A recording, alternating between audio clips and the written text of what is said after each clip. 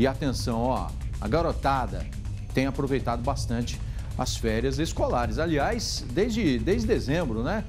É, janeiro segue, acho que só volta depois do carnaval, né? Mas é preciso ter muito cuidado, porque não é só durante o período de férias. É que com as férias a meninada tem né, um período mais, mais livre aí, vai querer soltar pipa, brincar, se entreter. E é aí que está o perigo, porque muitos, muitas crianças, adolescentes, mas tem muito marmanjão também, que acaba soltando pipa com a linha com cerol, que é aquela mistura cortante de pó de vidro, cola. Isso daí é um perigo, gente. Já, já morreram várias pessoas, algumas né, tiveram ferimentos graves. Né? E esse mês é, é um mês voltado, lógico, para descanso, para diversão, mas não podemos esquecer da segurança. Por isso, né, a Guarda Municipal de Araçatuba está fazendo uma operação que fiscaliza o uso de materiais proibidos na soltura de pipas. A Jéssica Távoas está com a gente agora e vai falar como é que está sendo esse trabalho, né? E se já teve algum resultado. Infelizmente, né? Resultado aí de apreensão de material. Jéssica, é, como é que está a situação aí na cidade? Bom dia. Oi, Sandro, bom dia para você, bom dia para todo mundo. Olha, a operação deste ano começou né, nesses primeiros dias de janeiro, mas nós já temos aí um parâmetro do resultado do ano passado, porque essa é uma operação que acontece todos os anos pela Guarda Civil Municipal aqui da cidade e no ano passado o balanço chama atenção. É, cerca de 45 boletins de ocorrência foram registrados por conta dessa soltura de pipas né, de forma irregular. Teve apreensão de mais de 400 400 carretilhas de linha chilena, mais de 800 pipas apreendidas. Então, neste ano, novamente, a Guarda faz, se une, né, junta os seus esforços para fazer essa fiscalização e essa orientação nos principais pontos, né, onde o pessoal costuma soltar pipa, que na maioria das vezes são aí nos campos de futebol. E olha, Sandro, se a gente comparar o ano passado com o resultado de 2022, a gente vê que a gente já tem uma boa notícia, um, um avanço, digamos assim, porque teve uma redução de um ano para o outro de cerca de 70% no número de ocorrências registradas.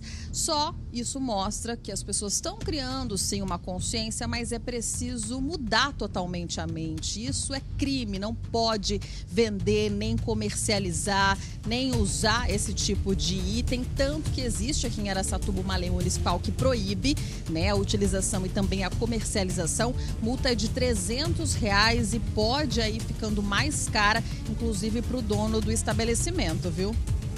Absurdo isso.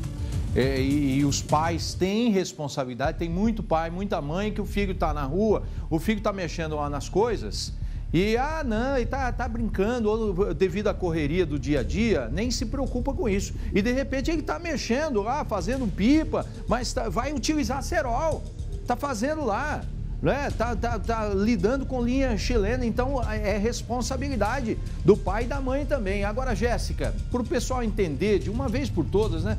O que pode, o que não pode na hora de soltar pipa, né? Porque há um risco muito grande, inclusive, de matar aí é, ciclistas, motociclistas ou até mesmo pedestres. Sim, muitas pessoas já morreram por conta dessa imprudência, né, das pessoas que soltam pipa de forma irregular. E para isso, Santo, para esclarecer para a gente o que pode, o que não pode, eu estou recebendo aqui o guarda municipal Jorge, Jorge, que vai falar para a gente então o que pode o que não pode. Porque soltar pipa é uma brincadeira tão gostosa, tão simples, mas tem algumas regrinhas, né? Tem sim. Primeiro é o local. O local tem que ser um campo de futebol, um local bem vasto distante da via pública. E soltar pipa pode sim, desde que não seja com linha cortante, o uso de cerol ou a linha chilena, que isso aí pode causar acidente. Como a gente sabe, não é só criança né, que comete essa imprudência, tem muita gente grande, né? Isso, pensando nisso, a gente sempre faz operação conjunta com a polícia militar. Por quê? No local que muitas das vezes tem o menor ou o adulto soltando pipa, também há as pessoas ali que querem cometer malabarismo, empinar moto, cavalinho de pau, som alto. Então, esse trabalho conjunto da Polícia Militar e da Guarda Municipal tem inibido muito isso. E também, nesses locais, alguns desses locais que as pessoas usam para soltar pipa, também há o descarte irregular. Então, pensando nisso, pensando nas campanhas de 2022 para cá, nós começamos a chegar antecipadamente, ou seja, eles começam a chegar às 16, 15 horas, a Guarda Municipal, a Polícia Militar já está fazendo patrulhamento no entorno. Então, só quem vem, ou seja, só quem vem para esse local soltar pipa é a pessoa bem intencionada. É a criança com o pai, com a mãe, é a família nesse local graças ao trabalho eficiente e rápido que vocês fazem, né, Jó? Isso. Todo um trabalho, uma metodologia de prevenção, um trabalho preventivo, característica da Guarda Municipal. Certo, obrigada, viu? E olha só que interessante, Sandro. No ano passado, a Guarda trouxe aí uma novidade dentro das escolas, fazendo essa orientação para a criançada já dentro ali da sala de aula. A Guarda Lara vai falar com a gente. É isso mesmo, vocês levam todos os materiais e ensinam a forma correta de fazer e também de soltar a pipa. Exatamente. No ano de 2023, houve um aumento no patrulhamento das escolas e as equipes de ronda escolar da Guarda Municipal aproveitaram e levaram um projeto com o intuito de orientar as crianças quanto às linhas que podem ser utilizadas, bem como os locais apropriados para a soltura de pipa. E a gente, para exemplificar, a gente trouxe os dois modelos que o guarda Gasparini está segurando aqui para a gente. Pode explicando, Lara, o que pode e o que não pode, a diferença de uma e de outra. Certo. Essa é uma linha assim, importante. Nós vamos mostrar, é, demonstrar com uma linha concortante é, para que vocês vejam o poder de uma linha concortante. Ó. É, por isso a importância de estar tá sempre utilizando o que é recomendado para não ocorrer acidentes. Isso ali para um, um, motociclista que está passando de repente com a moto ali um pouco mais rápido é fatal. Com certeza, com certeza.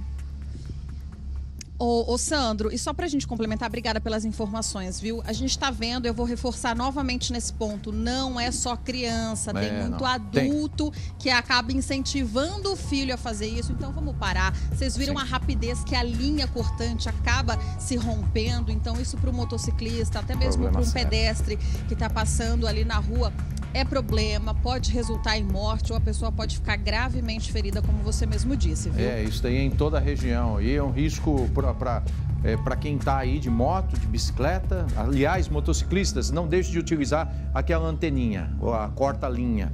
Por favor, é para salvar a sua vida. E tem que ter punição, tem que ter fiscalização e tem que ter consciência das famílias da nossa região. Atenção, meninada, ó! Puxão de orelha do tio Sandro aí em cima de vocês. Não soltem pipa com linha com cerol, hein? Obrigado, Jéssica, pelas informações.